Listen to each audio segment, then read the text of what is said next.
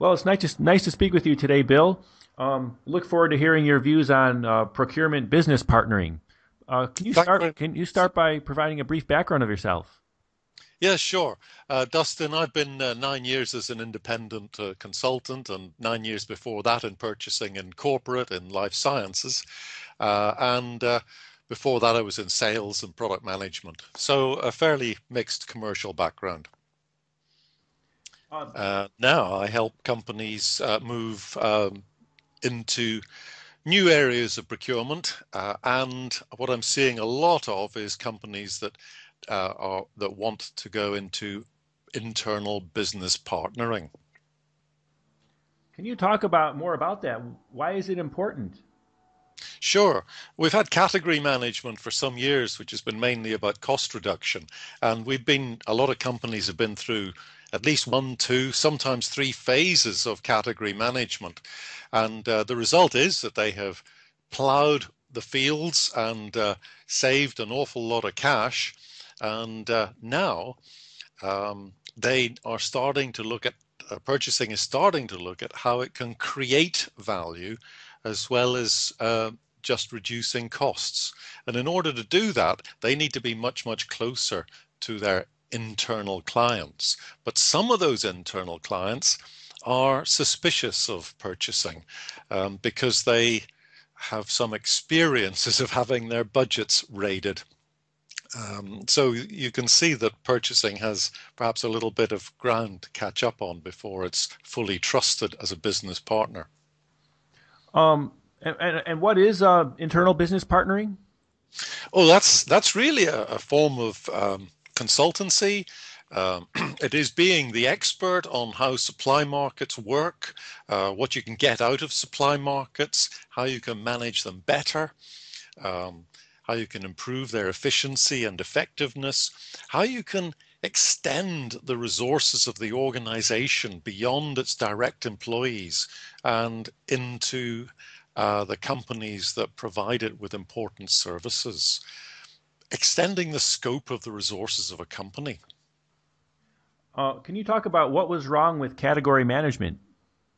Yeah, category management uh, was needed because uh, purchasing uh, because the way in which purchasing was done in organizations about 15 or 20 years ago it was very haphazard it was disorganized um, very local um, and being able to consolidate um, standardize and leverage all of that through category management was was a great opportunity but it has led to a reduction in innovation uh, in many companies. And we're hearing a lot now um, about how we want the supply network to contribute to companies' innovation, its capability, risk reduction, and image. And, and category management never really tackled those areas. And that's been a big issue over the last few years.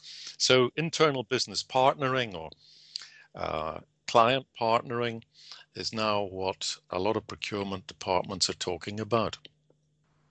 So, what is the future of, of procurement?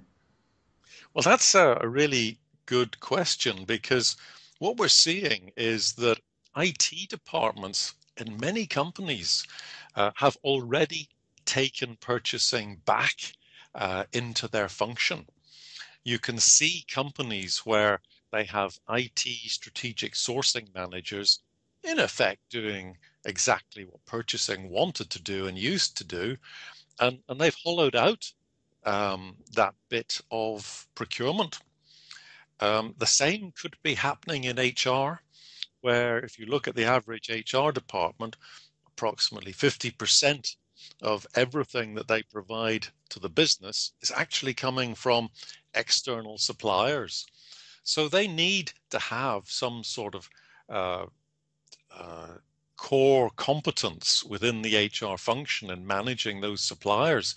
And they're asking, you know, why would we ask, why would we get procurement to do this if it's if it's so important? So the future of procurement depends on stepping up to the plate and learning how to do this procurement part, this business partnering.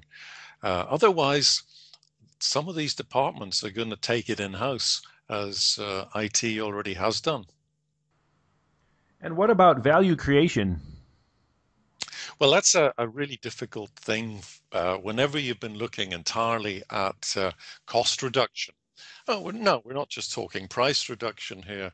We're talking about um, the cost of purchase, all of the everything associated with the cost of purchase, the total cost of ownership, and what's called demand challenge, looking at the specifications and making sure that uh, they're not superfluous. All of that goes into cost reduction, and all of those are core skills in category management.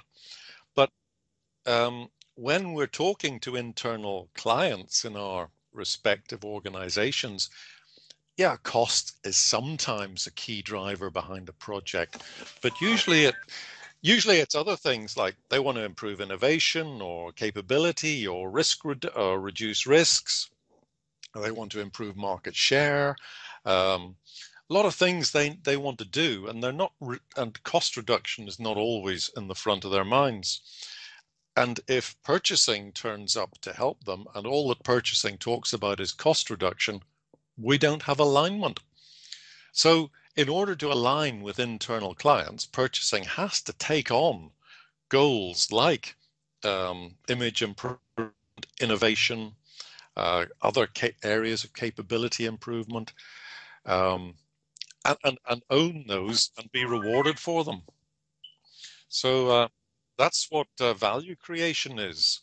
Uh, it's beyond it includes cost reduction, but it's not limited to it. Dustin.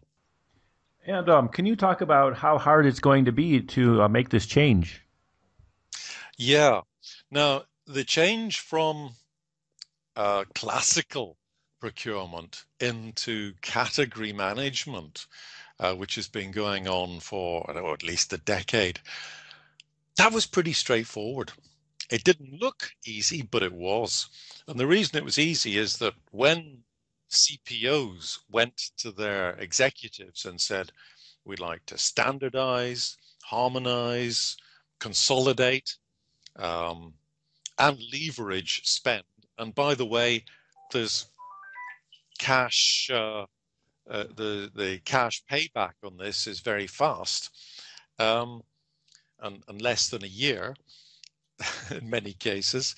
The answer was yes. It was, why hadn't you thought of it before? Why have you left it so long? And so a lot of companies found it pretty easy to move into category management. But moving into value procurement is different. Firstly, you've got to persuade the executive that perhaps uh, the savings are not going to flow quite as easily as they used to, that some of the targets are a bit softer they're not cash, um, and the time scales are a little bit longer. Um, and by the way, we need to retrain our staff in order to do this. Um, you can see where the problems start to arise. It's not every purchasing department that is uh, geared up and, and, able to do that. Thank you. And uh, what skills are going to be needed? Yeah. Um, these are skills that people talk about but don't actually um, do a great deal about. Um, the skills are things like being able to identify and create value beyond cost reduction, just as we've been talking about. The ability to sit down with the internal client and talk about creating value and be credible in that role. Also, the ability to take it to take accountability for service performance after the contract. When purchasing signs a contract and hands it over to the business and, and walks away, that just does terrible things for its credibility. They need to be there, making sure that the service performance is right and keeping that accountability. And they also need to win permission to challenge. They have to be able to, to integrate into those internal functional teams and challenge some of their decisions on the way they're managing the supply markets. And in order to do that, they need to be able to persuade and sell consultatively. consultative selling is something that doesn't come easy to procurement. They're used to traditional selling. Um, we all talk about the elevator pitch, the the, the, the 30 second presentation, but they need to be able to persuade consultatively doing, uh, it's almost like coaching. And they need to align with their clients' goals and objectives and find out what those are and be able to report those as their own. And they, you know, and to accompany that, they all need some really good soft communication skills, being able to identify what sort of personality and behaviors um, their uh, their clients have and how they like to be addressed and communicated with. That's and that's quite a wish list, Dustin. Um, you you need you need a full program of activities to bring people up to to those skill levels. Thank you. And do you have any um, final recommendations? I think the final recommendations are that companies um, should obviously think hard about this. It tends to be the uh, service companies that are that are pioneering this area, um, and they include the advertising companies, the media companies, uh, a lot of the internet companies. Um, in fact, uh, I saw recently uh, uh, a job description for what looked to any other company like a category procurement manager in Amazon. The words procurement, purchasing, and buying didn't appear in the job description. So uh, those companies are moving. I think the next phase is going to be the um, high service companies, but still with manufacturing elements, uh, especially pharmaceuticals. Um, so they should be looking hard at this area and looking at the transition. And the interesting thing will be for a lot of companies who've never really fully embraced category management, can they go straight from classical procurement to value procurement? Some have, but it's uh, it's a big step. Um, so looking at this area, looking at the skill levels, and uh, facing the challenge, that's that's the next phase. Well, thank you for sharing your insights today on uh, pr- the procurement uh, business partnering concept. Thank you, Dustin. It's uh, uh thank you for the invitation. It's an honor to talk about it, uh, and it excites me a lot, as, as I, I guess you can hear.